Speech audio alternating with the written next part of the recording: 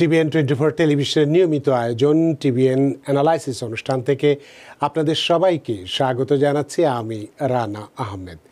সুপ্রিয় দর্শক, আপনারা এই মুহূর্তে যারা ঘরে টেলিভিশন সেটের সামনে বসে এই অনুষ্ঠানটি দেখছেন কিংবা আরেকটু পরে টেলিভিশন সেটের সামনে বসে আপনাদের এই প্রিয় অনুষ্ঠানটি উপভোগ করবেন কিংবা এই মুহূর্তে যারা ফেসবুক লাইভে ঢুকেছেন অথবা আরেকটু পরে ফেসবুক লাইভে ঢুকবেন কিংবা আরও পরে সময় সুযোগ মতো যারা ইউটিউবে অনুষ্ঠানটি দেখবেন, তাদেরকেও আগাম স্বাগত জানিয়ে রাখি। সুপ্রিয় দর্শক, আজকে আমরা ইমিগ্রেশন বিষয়ে কথা বলব। ইমিগ্রেশন একটি গুরুত্বপূর্ণ বিষয়। যে বিষয়টি নিয়ে আমরা অনেকেই ভাবি যে আমার এইভাবে আমি এসেছিলাম, এই ক্যাটাগরিতে এসেছিলাম, আমি স্ট্যাটাস চেঞ্জ করে, বিশেষ করে যদি আমি বিয়ে করি, তাহলে আমার কি হতে পারে? আমি কি তাড়াতাড়ি গ্রিন কার্ড পাবো? আর গ্রিন কার্ড তাড়াতাড়ি পেলে আমি আবার কত তাড়াতাড়ি সিটিজেনশিপ পেতে পারি। এরকমই একটি বিষয়। সেটি হচ্ছে বিয়ের মাধ্যমে আমেরিকার গ্রিন কার্ড ও নাগরিকত্ব লাভের বিভিন্ন নিয়মাবলী। কীভাবে এই বিষয়টি অ্যাচিভ করতে পারব, সেই বিষয় নিয়ে আমরা বেশ কথা বলব। তার বাইরেও সুপ্রিয় দর্শক, আপনাদের তো ইমিগ্রেশন সংক্রান্ত নানান প্রশ্ন থাকবে। সে প্রশ্নগুলো তো আপনারা করবেনই। আমাদের টেলিভিশন স্ক্রিনে যে টেলিফোন নম্বরটি ভেসে উঠেছে, তারপরেও আমি বলে দিচ্ছি six four six three zero seven nine eight two eight এই নম্বরেও ফোন করতে পারেন কিংবা যাদের ফোন করতে অসুবিধা হয়, তারা ফেসবুকেও প্রশ্ন রাখতে পারেন।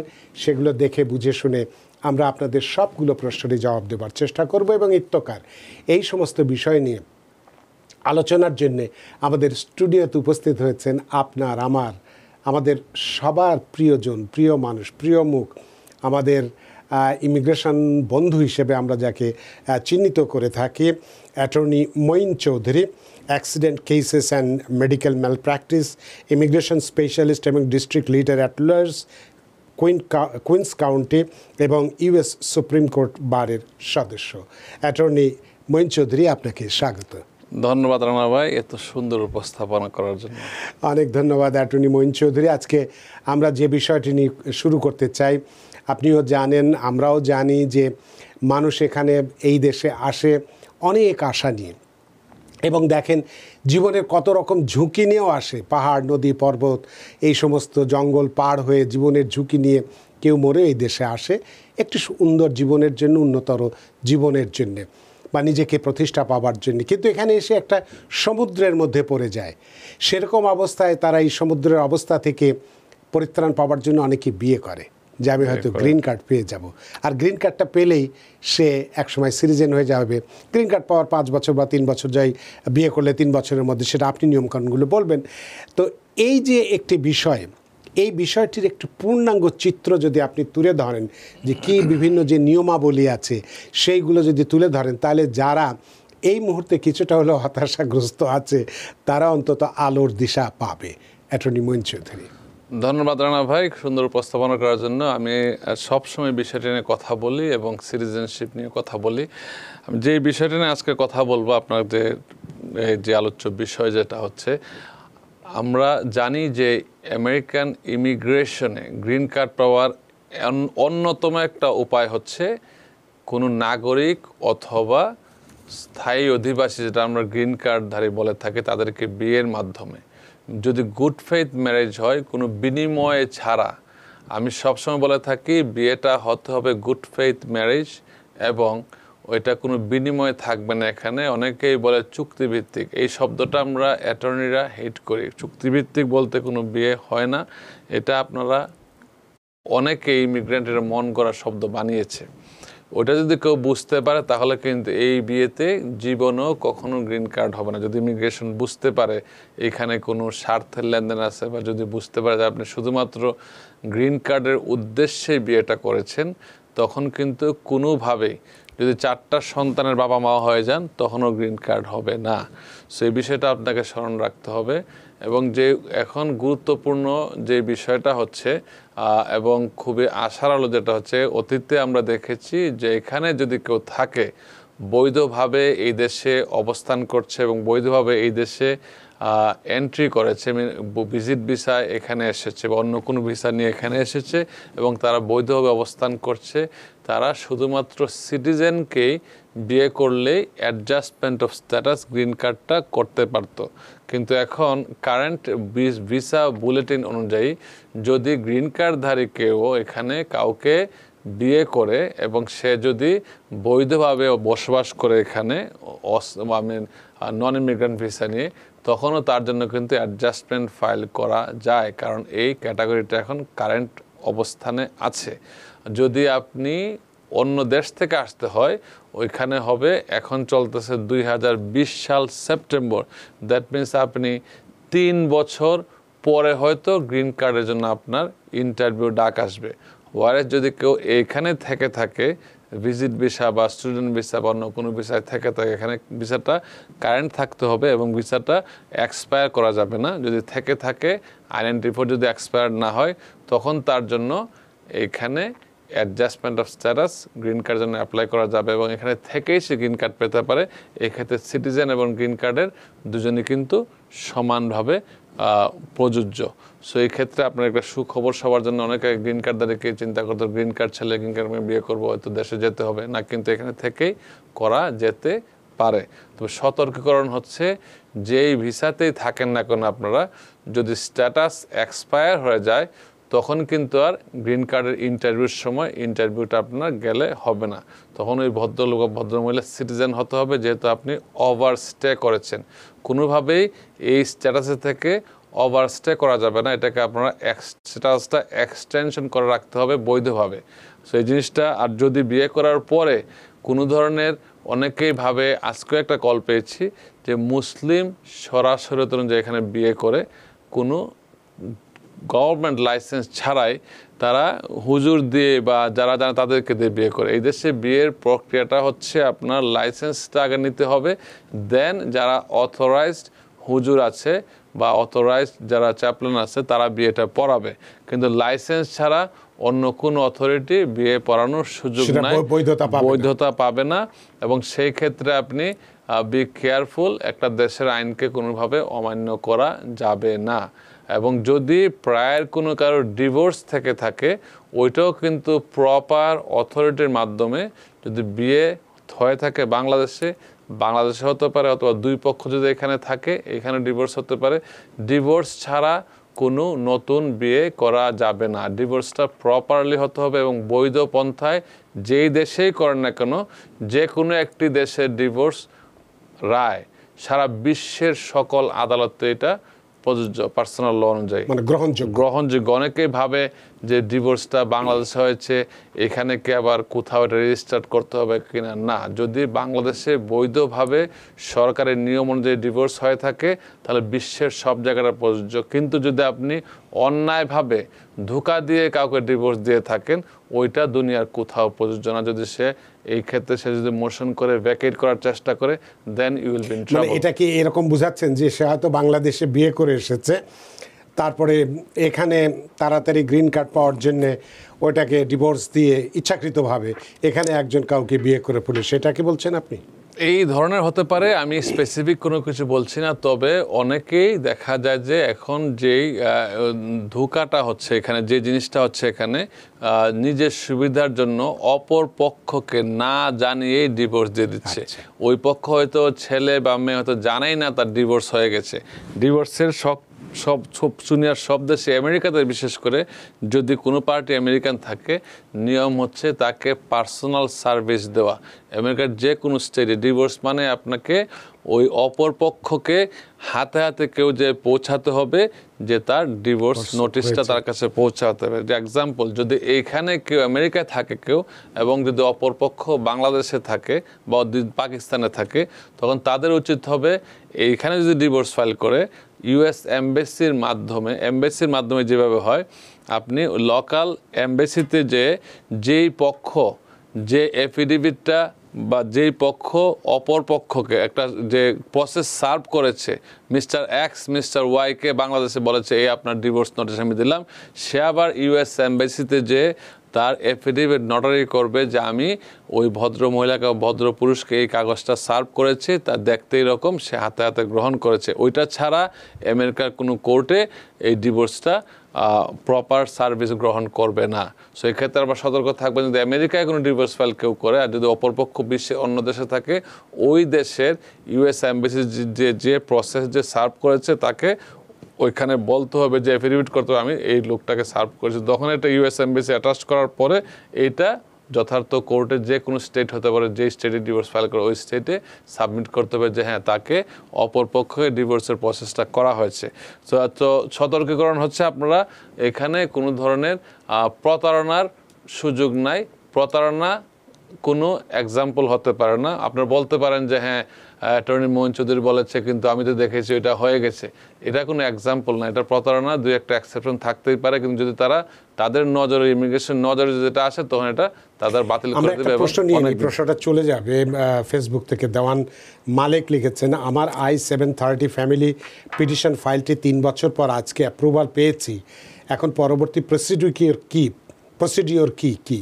এবং আর কতদিন লাগবে ভিসা পেতে? একটু জানাবেন please Struggling to pay your water or sewer bills? New Jersey's low income household water assistance program can help you avoid service disruptions, restore services, pay reconnection fees, and stay up to date on payments. Apply for the Low Income Household Water Assistance Program today. Call 211 or visit waterassistance.nj.gov. ধন্যবাদ। যদি আপনি I one thirty আপনারা TVN শুনতে শুনতে হয়তো অনেক expert হয়ে গেছেন। আই ওয়ান থার্টি অনেক ধরনের হচ্ছে F one F two F three F four কোন ক্যাটাগরি এটার উপর ডিপেন্ড করবে আপনার পরবর্তী প্রক্রিয়া কি। যদি ইমিডিয়েট ক্যাটাগরি হয়ে থাকে, তাহলে আপনাকে এই ফাইলটা এনবিসিতে যাবে, আপনার ইনভয়েস আসবে, টাকা পে করবেন দেন আপনি ডকুমেন্টারি কোয়ালিফাই করবেন, সব ডকুমেন্ট নিয়ে আসবেন, এটা দেওয়ার পরে বাংলাদেশে যাবে। আপনার যখন ভিসা বুলেটিন অনুযায়ী সময় আসবে, তখন আপনার এই কাজগুলো করতে হবে দেন ফাইনাল স্টেপ হচ্ছে আপনাকে ভিসা নিয়ে যুক্তরাষ্ট্রে আসবেন। অনেক ধন্যবাদ আপনার প্রশ্নের জন্য। আশফাক মাহমুদ একটা প্রশ্ন রেখেছেন যে, আমার মায়ের ম্যারেজ সার্টিফিকেট স্থায়ী ঠিকানায় ঠিক আছে, কিন্তু বার্থ সার্টিফিকেটে ঠিকানা ভুল আছে। এখন আমি কোনটা ঠিক করব এবং কীভাবে? ধন্যবাদ। আমি সবসময় একটা কথা বলি, আমাদের যারা ইমিগ্রেন্ট তাদের এই জিনিসটা সবসময় হয়, ঠিকানা নিয়ে একটা গন্ডগোল লাগে। দেখেন, জন্ম যখন যেখানে হয় আপনি বার্থ সার্টিফিকেট থেকে সেই জায়গা থেকে নিতে হয়। এবং বিয়ে যেখানে হয় ম্যারেজ সার্টিফিকেটটা সেখান থেকে নিতে হয়। যদি আপনি বিয়ে হয় ঢাকাতে আর বিয়ের সার্টিফিকেট নেন কুমিল্লা থেকে, তখন আপনার ওই জিনিসটা ম্যাচ করবে না। যদি বার্থ সার্টিফিকেট যদি বার্থের জায়গা থেকে নিয়ে থাকেন, বিয়ের সার্টিফিকেট যেখানে বিয়ে হয়েছে সেখান থেকে নিতে পারেন। এটা কোনো ঠিকানা, কোনো সমস্যা নেই। কিন্তু আপনি যদি ইচ্ছাকৃত বুঝতেছেন যে ভুল হয়েছে, বার্থ সার্টিফিকেট দুই জায়গায় দুই রকম তথ্য দেওয়া যাবে না। যদি একই তথ্য বার্থ সার্টিফিকেট ঠিকানা এবং ম্যারেজ সার্টিফিকেট ঠিকানা দুই রকম হইতেই পারে। কারণ একটা লোক যেখানে জন্ম হয়, সেখান থেকে বার্থ সার্টিফিকেট হয়। যেখানে বিয়ে হয়, সেখান থেকে বিয়ের সার্টিফিকেট হয়। যদি আপনি জন্ম হচ্ছে সিলেটে, আপনি বার্থ সার্টিফিকেট সিলেটতে হবে। তারপর আপনি চলে গেলেন ঢাকাতে। তা আপনার বিয়ে তো ঢাকাতে হবে নাকি? বিয়ে সিলেটে। যদি ঢাকাতে থাকেন, বিয়ে ঢাকাতে হয়, দুইটা দুই ঠিকানা থাকতেই পারে। এটা কোনো প্রবলেম না। কিন্তু আপনি অ্যাড্রেসও চেঞ্জ হতেই পারে। জিনিসটা ডিপেন্ড করে আপনি কীভাবে এটা মানে প্রস্তাব কীভাবে আপনি এই জিনিসটা কাগজগুলা তৈরি করেন এবং কীভাবে কাগজগুলো প্রেজেন্ট করেন এটার উপর ডিপেন্ড করবে। আপনি আপনার সদয় কোনো এরকম আপনার এক্সপ্লেনেশন আছে কি না তো তার মানে আমার মনে হয় যে বার্থ সার্টিফিকেট যে ঠিকানাটা আছে সেটাই সব জায়গায় ব্যবহার করা ভালো। কারণ ওটাই দিয়ে তো আসল ঠিকানা। কারণ ওটা হ্যাঁ? বার্থ সার্টিফিকেটে এক্সাম্পল আপনি দেন যেন আপনি যদি সিলেটে জন্ম হয় আপনার আপনার সিলেটে বার্থ সার্টিফিকেট সিলেটে থাকবে স্থায়ী ঠিকানা তাই না? হ্যাঁ, স্থায়ী ঠিকানা। স্থায়ী ঠিকানা। আবার আপনি যদি বিয়ে যদি ঢাকাতে হয় প্রেজেন্ট। বিয়ে হইতে পারে সমস্যা নাই। ডিপেন্ড করে আমরা ভুলটা বলছি কেন? অনেকে বাবার নাম পরিবর্তন করে ফেলে। এটা ঠিক না। বাবার নাম বাবার নাম বাবা একটাই থাকে। বাবা তো চেঞ্জ হয় না। সেটাই। তাই না? তো বাবার নাম তো ইচ্ছা করলে আপনার নাম পরিবর্তন আপনার বাবার নাম পরিবর্তন করবেন কীভাবে? বাবার নামে ওখানে অনেকে দেখেছি, জিনিসটা শুনতে খুব সিলি মনে হয়, কিন্তু তার নাম পরিবর্তন বাবার নাম আসে বদলায় ফেলেছে, তার নামের সাথে সাথে। এটা তো সম্ভব না। বাবার নাম তুমি চেঞ্জ করবে, বাবা তো অ্যাডাল্ট পার্সন আর কোনো নামে যেহেতু এক আপনার সাথে কথা বলতে গেলে কি একটার পিঠে একটা কথা চলে আসে। অনেকে করে কি আমাদের এই জন্য সরি টু সে যে একটা কথা চলে আসে। কিন্তু উদাহরণ হিসেবে টপিকসটা না দিলে হয় কি তখন একটা গ্যাপ থেকে যায়। অনেকে দেখা যায় যে বার্থ সার্টিফিকেটে এক নাম হঠাৎ করে সে মনে হলে নামটা আমি পরিবর্তন করে ফেলব। সে পরিবর্তন সে নাম ইচ্ছামতো পরিবর্তন করে ফেলল কিন্তু কোনো ডকুমেন্টেশন নাই। যদি কোথাও আঠারো বছর হওয়ার পরে, আঠারো বছরের আগে আপনার বাবা মা নাম চেঞ্জ করতে পারে এফিডেভিট করে, দেশের প্রচলিত নিয়মে আমেরিকায় আপনি চেঞ্জ করতে পারেন, কিন্তু প্রপার ওয়েতে চেঞ্জ করতে হবে। বাংলাদেশে থাকা অবস্থায় যদি নাম পরিবর্তন করতে চান বাংলাদেশের ওয়েতে পরিবর্তন করতে হবে। আমেরিকায় থাকা অবস্থা করলে যে কোনো স্টেটের সিভিল কোর্টে যাবেন, তারা আপনার নাম পরিবর্তন করবে। তখন ওই অনুযায়ী আপনি না, আপনি নামটা আবার সব জায়গায় চেঞ্জ করার দরকার নাই। বার্থ সার্টিফিকেট নাম চেঞ্জ যেহেতু আপনার ওই টাইমে বার্থ সার্টিফিকেট ছিল, ওই সময় ছিল। এরপরে আপনি যদি নামের যে সংশোধনটা, যে চেঞ্জ হয়েছে, ওইটা অ্যাটাচ করে দিলে আপনার সব কাগজপত্র বৈধ হয়ে গেল। অনেকে ভাবে আমার মেট্রিকের সার্টিফিকেট অ লেভেল সার্টিফিকেট কীভাবে নাম তো পরিবর্তন করে ফেলেছে, এটা কাগজ লাগাতে। নো আপনার যদি কোর্টের ডকুমেন্ট আছে, আপনি সার্টিফিকেট নাম চেঞ্জ করেছেন সাথে অ্যাটাচ করে দিলেই যে আগে ছিল এই নাম পরে ছিল এখন এই নাম সেম ভাবে হচ্ছে বিয়ের ক্ষেত্রে। আমেরিকায় আপনারা দেখবেন বিয়ে হওয়ার পরে নামটা অনেকে সার নেম ইউজ করে। যে হাজব্যান্ডের নামের সাথে ওয়াইফের নামটা জড়িয়ে দেয়। আবার অনেকে তার ইচ্ছা হয়তো জড়ায় না। যখন আপনি নাম চেঞ্জ হয়ে যায় আপনার কোনো ধরনের সার্টিফিকেটই অকেজ হয়ে গেল না। এক্ষেত্রে আপনার হবে কি আগে একটা নাম ইউজ করেছেন ইসলাম পর হয়ে গেলেন পরে হয়ে গেলেন হয়তো খান। তো দেখাবেন যে বিয়ের পরে হয়েছে, সব কাগজপত্র বৈধ। অনেক ধন্যবাদ প্রিয় দর্শক। নিশ্চয়ই আপনার প্রশ্নের জবাব পেয়েছেন এবং খুশি হয়েছেন। ইফতেকার মাহবুব লিখেছেন আমাদের টেলিফোনও দর্শক আছে, আমরা ইফতেকার মাহমুদের পরে টেলিফোনে নেব। সুতরাং যারা টেলিফোনে অপেক্ষা করছেন, দয়া করে আর একটা প্রশ্নের পরেই আপনাদেরকে নিব। ইফতেকার মাহমুদ লিখছেন, আমার case I one thirty approved হয়েছে ইউএসসিআইএস থেকে এনভিসি যায়, যাওয়ার পর এনভিসিতে আমার লাস্ট নামের বানান ভুল, ওই একই কেস দেখা যাচ্ছে, হয়েছে। আমি এখন কীভাবে ঠিক করব? আমি পিটিশনার ধন্যবাদ। যদি আপনি কোনো মিস্টেক তারা করে থাকে, অবশ্যই আপনার বার্থ সার্টিফিকেট যদি প্রডিউস করতে পারেন যথাযথ অথরিটির কাছে তারা এটা চেঞ্জ করে দেবে। অনেক ইমিগ্রেশন যে সম্পূর্ণ সঠিক তারা অনেক ভুল করতেই পারে। মানুষ, তো এয়ার ইজ হিউম্যান মানুষ মাত্র ভুল করে, তাদেরও কম্পিউটার সব ঠিক করে থাকে না। অনেক সময় অনেক এমপ্লয়িরা কাজ করে। কিন্তু এক্ষেত্রে আপনার উচিত হবে যদি প্রপার ডকুমেন্ট থাকে, আপনার বার্থ সার্টিফিকেটটাকে আমেরিকাতে ফার্স্ট ডকুমেন্ট হিসেবে ধরা হয় জন্মের পর্যায়ে বার্থ সার্টিফিকেট যদি সঠিক থাকে, আপনি তাদেরকে পাঠাবেন, তারা এক্সপ্লেনেশন দিয়ে তারা কারেক্ট করবে। অনেক ধন্যবাদ প্রিয় দর্শক আপনার প্রশ্নের জবাব পেয়েছেন। আমরা একটু টেলিফোনে যেতে চাই। সুপ্রিয় দর্শক কে আছেন টেলিফোনে? দয়া করে নাম পরিচয় বলে আপনার প্রশ্নটি করুন। হ্যালো জি। আমার কথা শুনতে পাচ্ছেন? জি শুনতে পাচ্ছি। আপনি বলুন। হ্যাঁ আমার নাম মামুনুর রশিদ। আমি আমার ভাই বোনের জন্য অ্যাপ্লাই করছি দুই হাজার বিশ সালে। জি। তো ওনাদের অ্যাপ্রুভাল লেটার আসছে এবং ঢাকার কেস নাম্বার আসছে। জি। এখন কতদিন লাগতে পারে ওনাদের বিষয়তে বা আমার পরবর্তী কি করণীয়? এই ব্যাপারে একটু জানতে চাই। আপনি সিটিজেন তো না? জি আমি সিটিজেন জি। আচ্ছা ঠিক আছে। অ্যাটর্নি ধন্যবাদ। ভাই বোনের অ্যাপ্লিকেশন এফ ফোর ক্যাটাগরি এখন দুই সাল চলতেছে। আপনি সাতের এপ্রিল চলছে। সাতের এপ্রিল হ্যাঁ এপ্রিল চলতেছে। এখন আপনার অপেক্ষা করতে হবে দুই সাত যখন আসে আপনারটা দুই হাজার বিশ সাল। দুই হাজার সাতের আগে হয়তো আপনারটা আপনাকে তখন ওই পোর্টালটা ওপেন হবে। এছাড়া আপনার ফি দেওয়ার কোনো সুযোগ নাই, পোর্টাল ওপেন হবে না। অপেক্ষা করা ছাড়া আর কিছুই করার নাই। তাদেরকে বলবেন তারা যেন ব্যবসা প্রতিষ্ঠান বিক্রি না করে, জায়গা জমি বিক্রি না করে আসার জন্য it will take some times অনেক ধন্যবাদ প্রিয় দর্শক আপনার প্রশ্নের জন্য। আসলে আপনারা যে জিজ্ঞাসা করেন যে আসলে কতদিন লাগবে কতদিন লাগাটা, শুধুমাত্র অ্যাটর্নি মঈন চৌধুরীর পক্ষে কেন? কারোর পক্ষেই সম্ভব না। ইভেন ইমিগ্রেশনে যারা কাজ করছে তারাও বলতে পারবে না।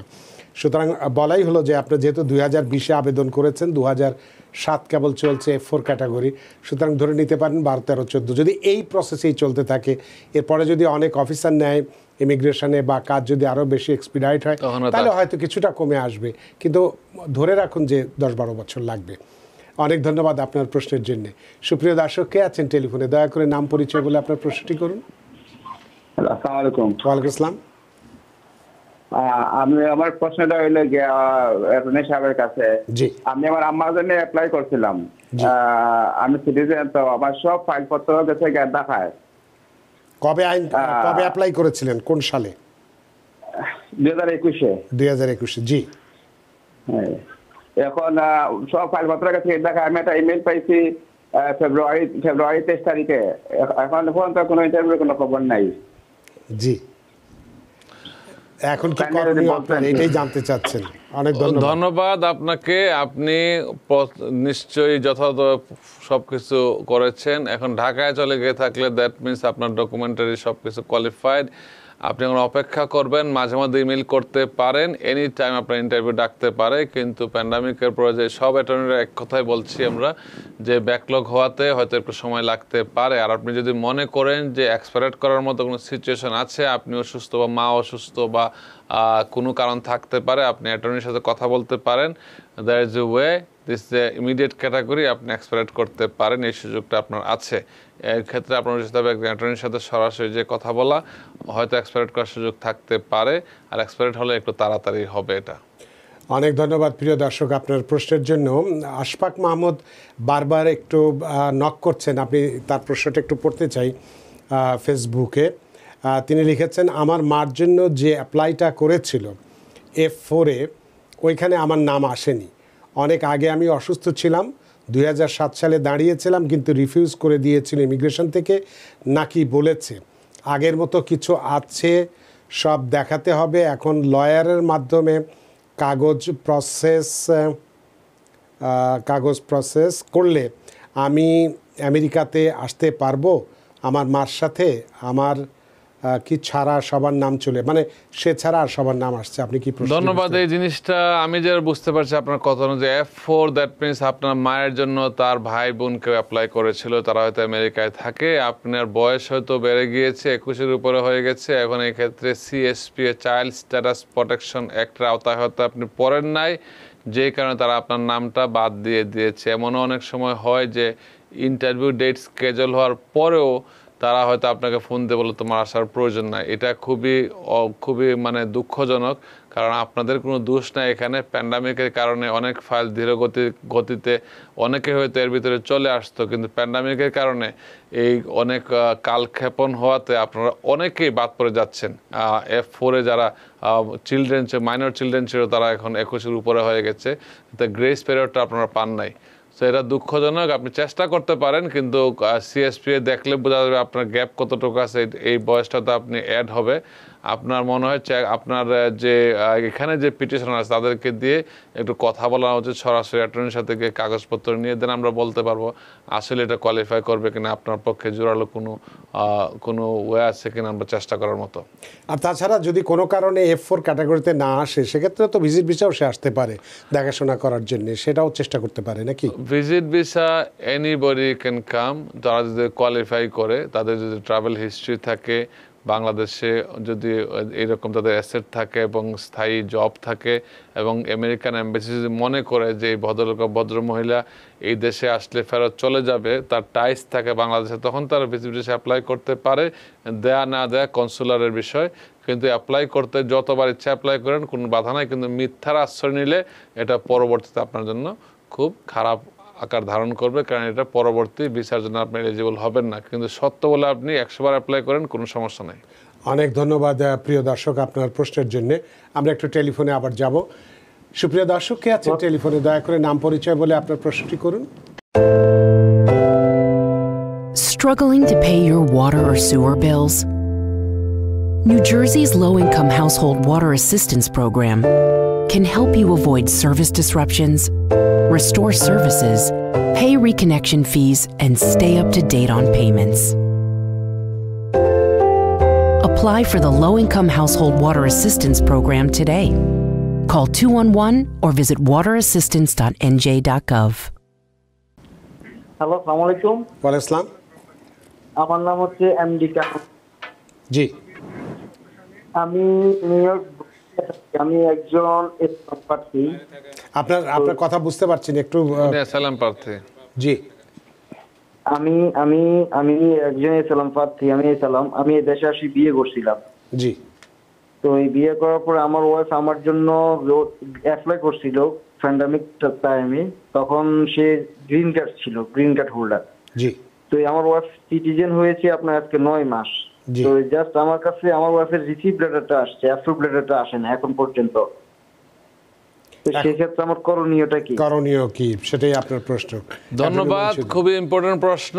যদি আপনি অ্যাসালাম প্রার্থী আমার জানতে হবে আপনি কীভাবে আমেরিকায় এন্ট্রি আপনার? আপনি কি বর্ডার ক্রস করে আসছেন? আপনাকে নাইন নাইনটি ফোর আছে? নাকি আপনি মানে ট্যুরিস্ট ভিসায় আসছেন? নাকি স্টুডেন্ট ভিসায় ছিলেন? এটা খুব ইম্পর্টেন্ট জানার কথা।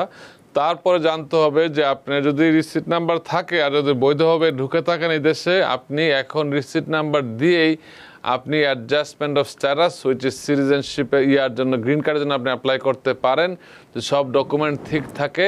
আর যদি কোর্টের রিমুভাল প্রসিডিংয়ে না থেকে থাকেন, তাহলে সার্ভিস সেন্টার থেকে আপনার এখানে গ্রিন কার্ড হয়ে যাবে। আর যদি রিনিউয়াল প্রসিডিংসে কোর্টে থেকে থাকেন এন্ট্রি ইস্যু হয়ে থাকে then court has the authority to grant your adjustment of status which is I four eighty five এক্ষেত্রে আপনার যেহেতু অ্যাসালাম ফাইল করেছেন, আমি মনে করি আপনার একজন লয়ার অবশ্যই আছে এবং আপনার লয়ারের সাথে কথা বলেন। আর যদি লয়ার প্রতি সন্তুষ্ট না থাকেন ইউ হ্যাভ রাইট আপনি এনি টাইম লয়ার চেঞ্জ করতে পারেন।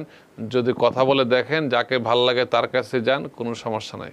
অনেক ধন্যবাদ প্রিয় দর্শক আপনার প্রশ্নের জন্য নিশ্চয়ই আপনি খুশি হয়েছেন।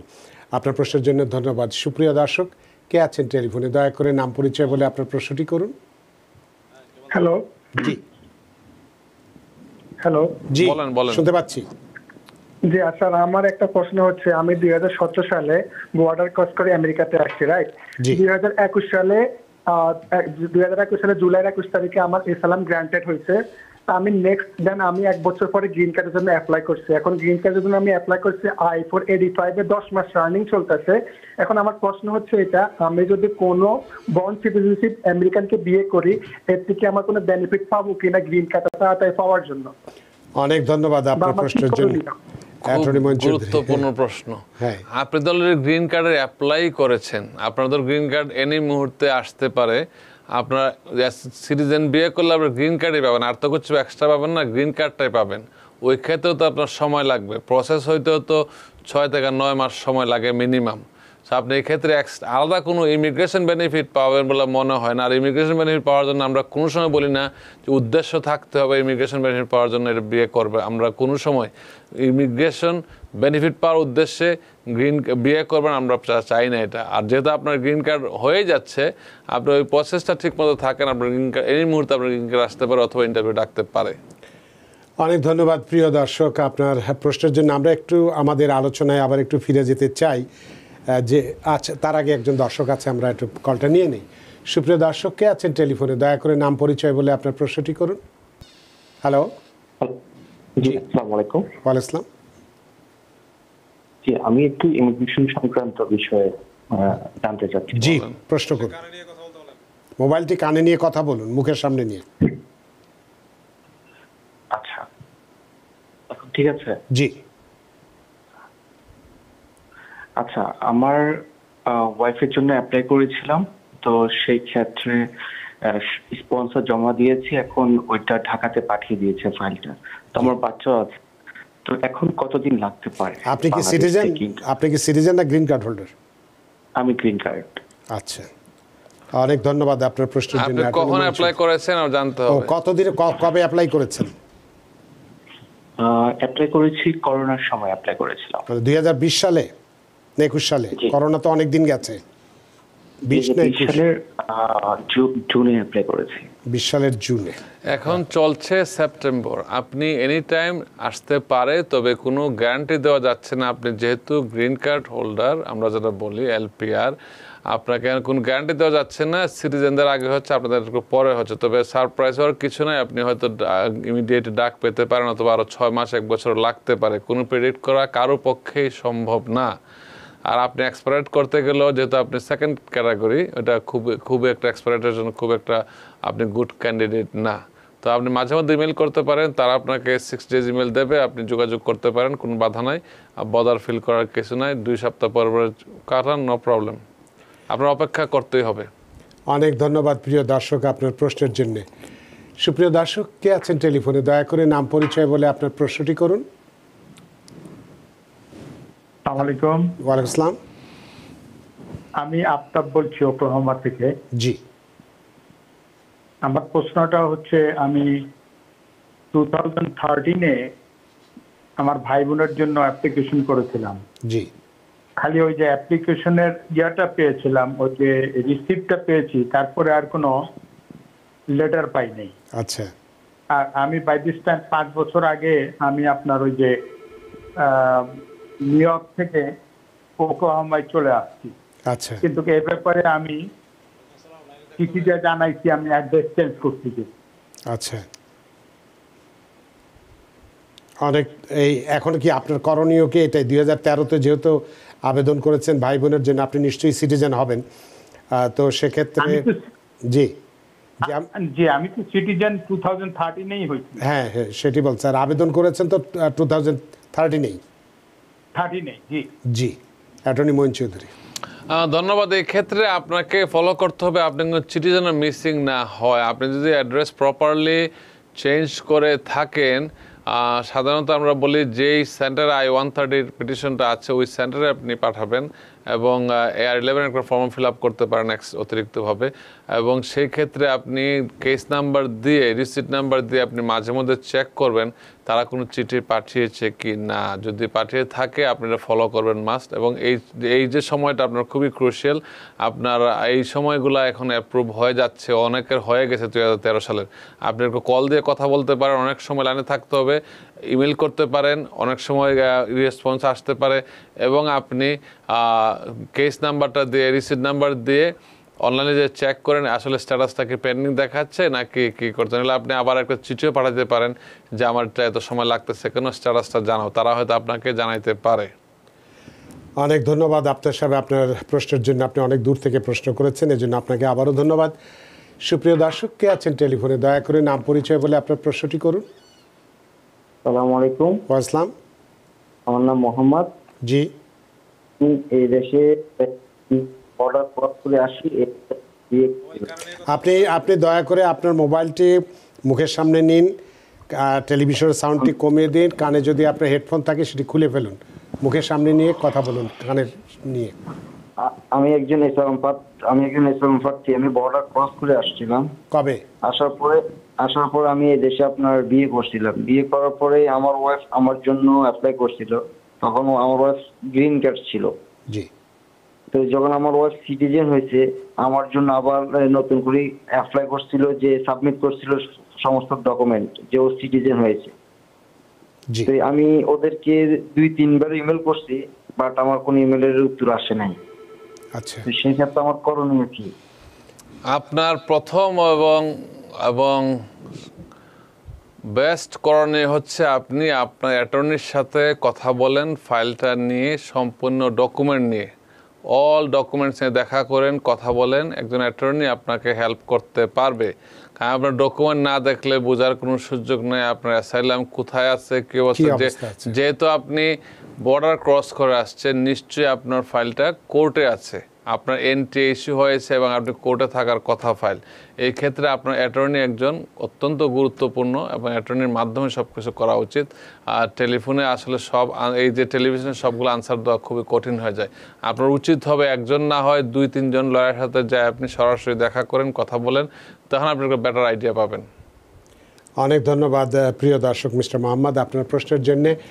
সুপ্রিয় দর্শক কে আছেন টেলিফোনে? দয়া করে নাম পরিচয় বলে আপনার প্রশ্নটি করুন। আসসালামু আলাইকুম। আমি হাসানুজ্জামান কুইন্স থেকে বলছিলাম। জি। আমি ফোন করছি আমার ওয়াইফ ইউএস সিটিজেন। জি। ও ওর বাবা মার জন্য অ্যাপ্লিকেশন করছিল দুই হাজার একুশ সালে। জি। ওটা অ্যাপ্রুভাল হয়ে সবকিছু জমা দিয়েছি মানে ডিএস টু সিক্সটি তারপরে আপনার ভিসা ফি সিভিল ডকুমেন্ট এগুলো সব অ্যাকসেপ্ট হয়েছে এই দুই হাজার তেইশের এপ্রিলের এক তারিখে। তো আর কতদিন লাগবে ইন্টারভিউ ডেট পাইতে? ধন্যবাদ আপনার প্রশ্নের জন্য। সেম ভাবে আমাদের আসলে রানা ভাই যে কথাটা বলল কারোর পক্ষে প্রিডিক্ট করা সম্ভব না। মান্থ অথবা। ডেজ উইকস এখন আপনার অপেক্ষা করতে হবে। It could be any day any time অথবা সময় লাগতে পারে আপনার অপেক্ষা। অপেক্ষা করতে হবে। মেক শিওর করেন ইমেলগুলো যেন আপনারা ওপেন করেন। মাঝে মধ্যে আমাদের অনেক ক্লায়েন্ট আছে যারা করে ইমেলগুলো ফলো করে না। ইমেলগুলো তারা ডিলিট করে দেয় বুঝে না। কিন্তু ইমেলেই কিন্তু আপনার ডেটগুলো থাকবে। আর দেশেও যে আপনার বেনিফিশিয়ারির কাছে একটা ইমেল যাবে আপনারা ইমেলগুলো ফলো করেন এবং দেন আপনি সব ডকুমেন্ট রেডি করে আবার করতে হবে যায় অনেক ধন্যবাদ প্রিয় দর্শক। আপনার প্রশ্নের জন্য নিশ্চয়ই আপনার প্রশ্নের জবাব পেয়েছেন এবং আশা করি খুশি হয়েছেন। তো আমাদের হাতে সময় নেই। অ্যাটর্নি মঈন চৌধুরী, আমরা আজকে যে বিয়ের মাধ্যমে আমেরিকার গ্রিন কার্ড এবং নাগরিকত্ব লাভের বিভিন্ন নিয়মাবলী, আপনি অনেকগুলো নিয়মই বলেছেন। তারপর হয়তো দুই একটু বলা যদি বাকি থেকে এক মিনিটের মধ্যে যদি কিছু বলতে চান। ধন্যবাদ। আমি সবসময় বলি যে, যদি কারও বিয়ের মাধ্যমে গ্রিন কার্ড পেতে হয়, এখন কিন্তু আর ইন্টারভিউটা হচ্ছে না। যে সিটিজেনের যদি স্পাউস সিটিজেনের ওয়াইফ অথবা হাজব্যান্ড যদি এখানে অ্যাপ্লাই গ্রিন কার্ড অ্যাপ্লাই তাদের কিন্তু আমরা যে করছি ইন্টারভিউ লাগে না। যদি প্রপারলি সব ডকুমেন্ট সাবমিট করলে কোন ইন্টারভিউ লাগবে না আপনি বাসায় গ্রিন কার্ড চলে আসে। এটা একটা গুড খুবই ভালো খুব গুড নিউজ সবার জন্য ইন্টারভিউটা ওয়েভ করে দিচ্ছে। সো সো এই ক্ষেত্রে সুযোগ নেওয়ার জন্য আপনারা যা করতে হবে ডকুমেন্টগুলো খুব প্রপারলি দিতে হবে জানা লোকের মাধ্যমে কাজটা করাতে হবে। আবার নিজে নিজে সব করতে গেলে it's a very serious issue মনে করেন যে আমার টাকা সেভ করবেন যার তার মাধ্যমে কাজ করেন নিজে নিজে করেন। সামান্য ইয়েস নো ক্লিকের জন্য আপনার সমস্যা হয়ে যেতে পারে। So immigration is a serious issue কেউ এটা খুব সহজভাবে দেখবেন না। আর যদি পারেন নিজে পারলে ভালো না পারলে একদম প্রফেশনাল কারও কারও সহায়তা নেবেন এটাই হচ্ছে সবচেয়ে মূল্যবান আবারও বলি রং হেল্প অলওয়েজ হার্ট আর কেউ যদি আপনাকে বুদ্ধিতে যাচাই করে নেবেন আসলে বুদ্ধিটা সঠিক কিনা। অনেকেই আছে পরোপকার করতে যে অ্যাডভাইস দিয়ে থাকে কিন্তু রং হেল্প করলে আপনাকে এটা ক্ষতি হবে। অনেক ধন্যবাদ অ্যাটর্নি মঈন চৌধুরী। আপনি অনেক ব্যস্ত মানুষের ব্যস্ততা সত্ত্বেও আমাদের ধন্যবাদ। স্টুডিওতে এসেছেন। অনেকগুলো, একটা গুরুত্বপূর্ণ বিষয় নিয়ে কথা বলেছেন, অনেকগুলো প্রশ্নের জবাব দিয়েছেন। সত্যি আমরা ঋদ্ধ, আমরা প্রাণিত। থ্যাংক ইউ সুপ্রিয় দর্শক, আজকে আমরা একটি গুরুত্বপূর্ণ বিষয় নিয়ে কথা বলেছি। বিয়ের মাধ্যমে আমেরিকার গ্রিন কার্ড এবং নাগরিকত্ব লাভের বিভিন্ন কৌশল বা নিয়মাবলী বলে আমরা কথা বলেছি। সর্বশেষ আলোচকের মাধ্যমে যে বিষয়টি আমরা অনুধাবন করতে পেরেছি যে ইমিগ্রেশন একটি জটিল এবং কঠিন বিষয়, নিজে যদি সব কিছু বুঝে করতে পারি, অবশ্যই সেটা ভালো। যদি না পারি, তাহলে হয়তো কিছু পয়সা বাঁচানোর জন্যে অনভিজ্ঞ লোকের কাছে যেন আমরা না যাই বা যদি কেউ কিছু বলে সেটা যেন যাচাই করে নিই এবং অভিজ্ঞ একজন অ্যাটর্নির মাধ্যমে বা যারা এই কাজ করেন তাদের মাধ্যমে আমাদের আবেদনগুলো করি, তাহলেই আমরা আমাদের কাঙ্ক্ষিত লক্ষ্যে বা আমাদের সফলতা পেতে পারব। সুপ্রিয় দর্শক, আশা করি নিশ্চয়ই আপনাদের অনুষ্ঠানটি ভালো লেগেছে। যে যেখানেই থাকুন, ভালো থাকুন, সুস্থ থাকুন, নিরাপদে থাকুন থাকুন টিভিএন টোয়েন্টি ফোর টেলিভিশনের সাথেই। শুভরাত্রি। টিভিএন টোয়েন্টি ফোর টেলিভিশন দেখতে আজই কল করুন seven one eight triple seven six double five six log in করুন W W W dot total cable BD dot com New York থেকে সম্প্রচারিত টিভিএন টোয়েন্টি ফোর টেলিভিশন বিশ্বজুড়ে বাঙালির কণ্ঠস্বর।